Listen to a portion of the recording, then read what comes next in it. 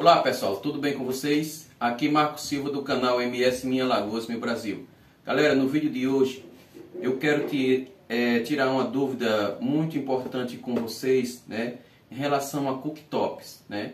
É, eu quero mostrar para vocês o cooktop 5 boca da Filco, né? E tirar algumas dúvidas com vocês em relação a medidas, tá?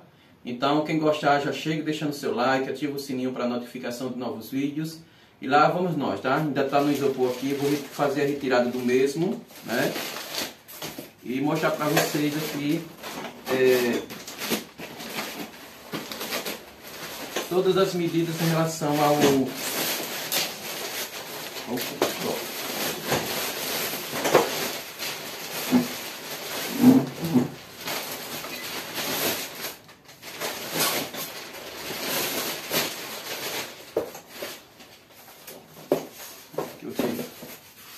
Tá aqui, pessoal. Cooktop é o Filco, né? cinco bocas. É, é um dos mais utilizados no, nos dias de hoje. Né? É, só que o pessoal está usando muito de quatro bocas também, né? Por questão dele ser um pouco menor. Mas esse daqui ele está sendo, para uma cozinha, digamos que grande, ele está sendo bastante é, apreciado pela, pela população, né? Pela comunidade aí. Então aqui, galera. Tá aqui ele boca dele. Dá pra ver aí, Alejandro. Veja aí se dá pra, pra ver bem aqui. Tá próximo. Eu ver aqui para fazer uma aproximação melhor. Deixa eu dar uma olhada, pessoal. Aqui. Se ele está, está legal.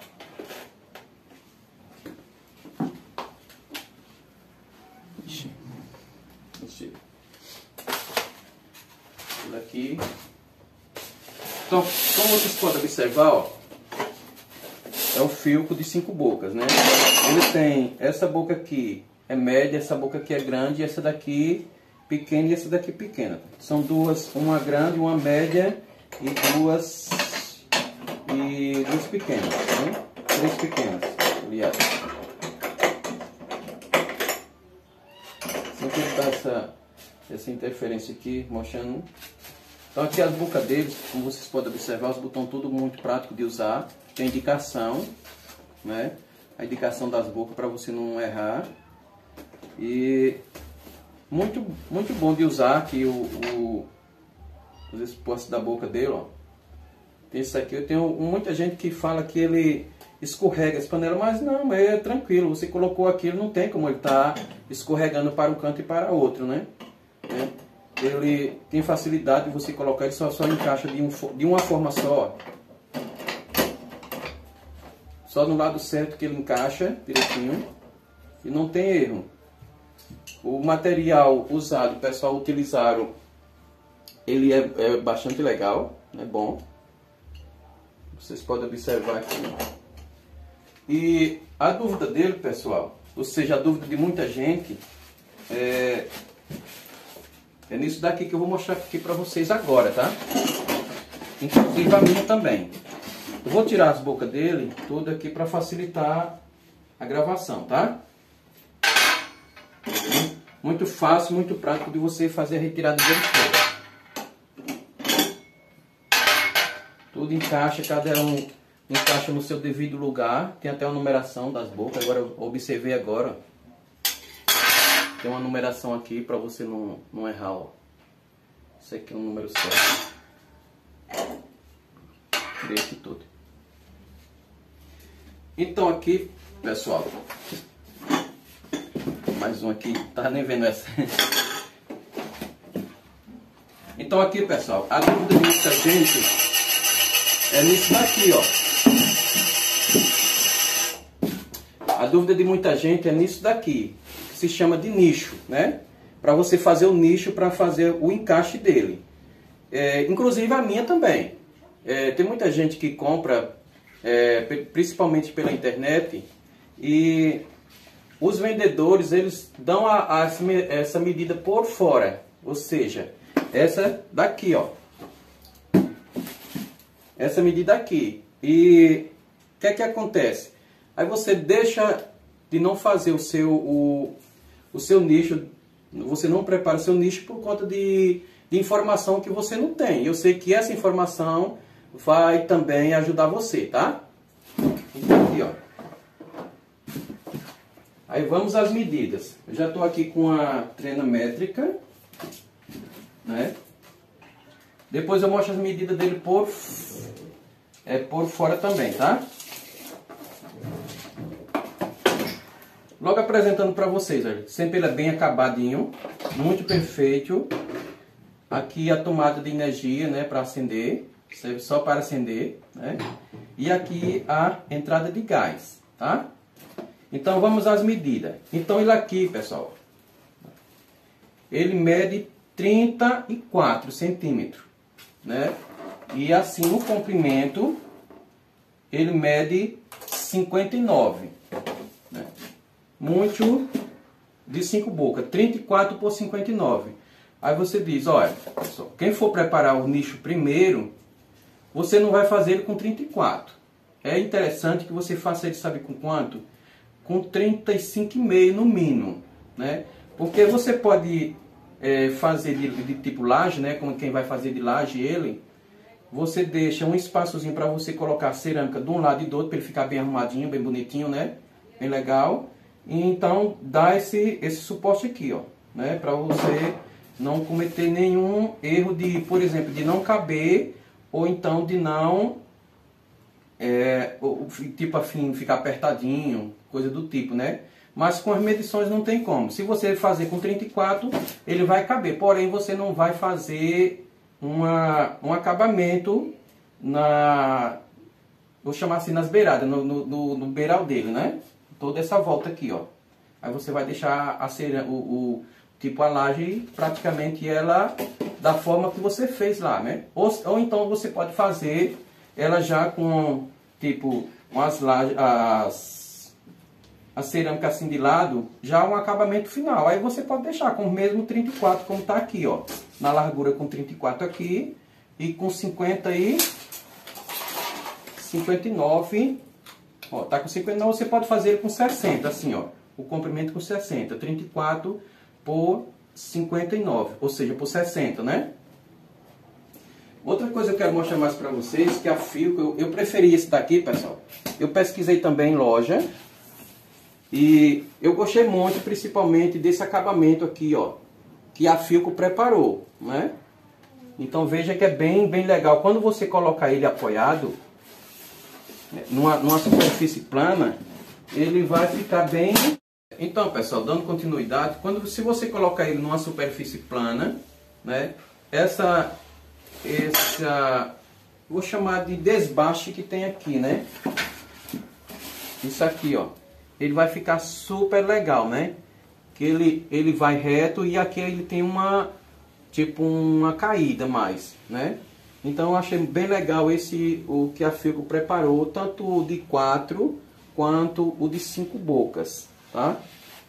Então aqui ficou bastante legal esse, esse acabamento que eles deram, né?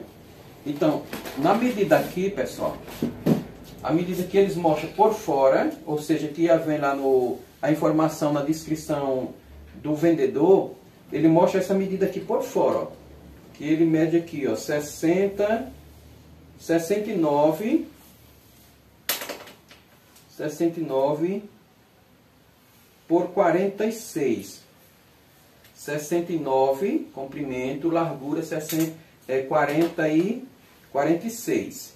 Então esse daqui, então vai lhe ajudar muito tirar as suas dúvidas.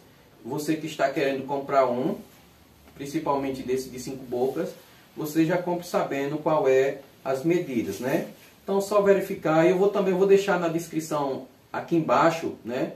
Logo aqui abaixo dessa, dessa palavrinha do vídeo, eu vou deixar na descrição do vídeo todas as medidas dele, tá? Tanto a medida de fora quanto as medidas que você vai preparar o nicho.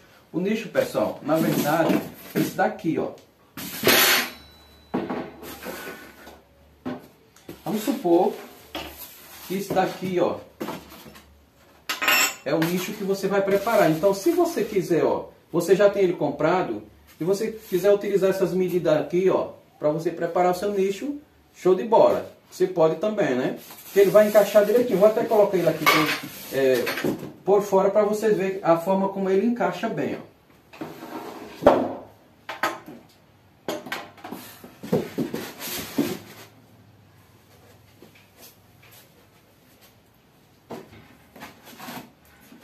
Não vai, galera. Por aqui ele não vai, modo, modo um beirão que tem aqui, né? Pra ele não atravessar, não vai não. Desculpa aí, pessoal, eu não tinha, não tinha visto ainda que tem um beiral que ele não, ele, ele não deixa ele ultrapassar de um local para outro, tá?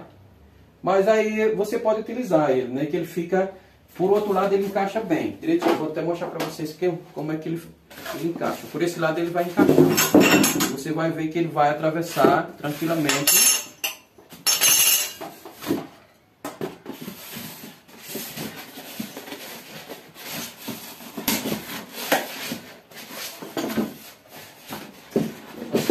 lado mesmo.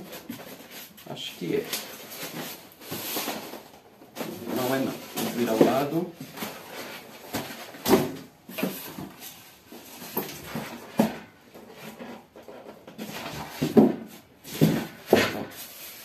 Ele só encaixa no lado certo.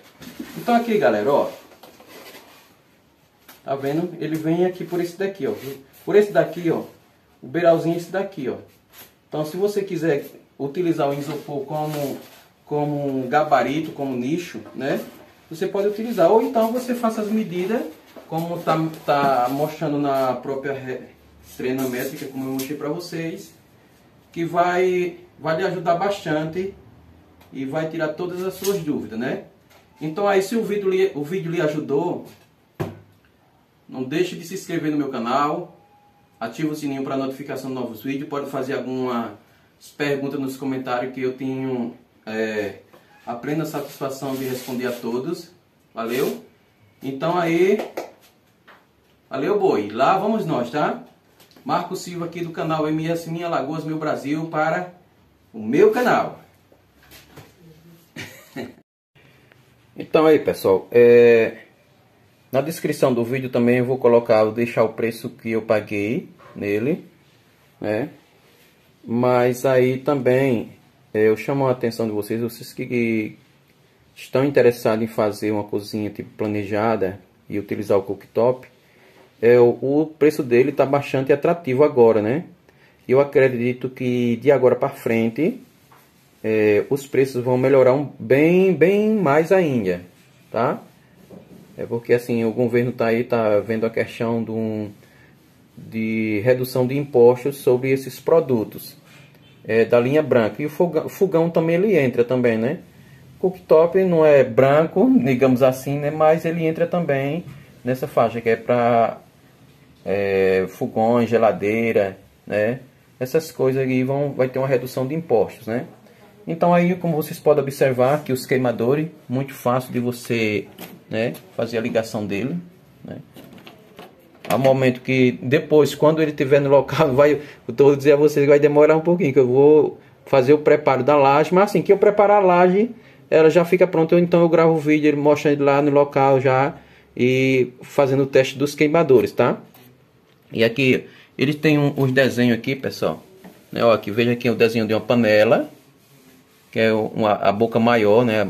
Possi possivelmente do feijão. Aqui outra panela. E aqui as outras duas panelinhas menores, né? Então, panelas maiores, consequentemente, em fogos maiores, né? Em queimadores maiores. É panela pequena nos queimadores menores. Então aí, é isso aí, galera.